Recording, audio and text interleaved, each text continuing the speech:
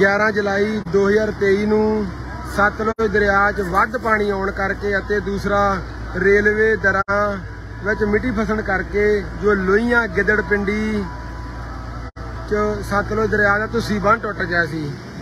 11 ਤਰੀਕ ਤੋਂ ਲਗਾਤਾਰ ਕਾਰ ਸੇਵਾ ਦੇ ਕਾਰਜ ਬੋਰੇ ਭਰ ਭਰ ਕਰੇਟ ਲਾਏ ਜਾ ਰਹੇ ਆ ਜੀ।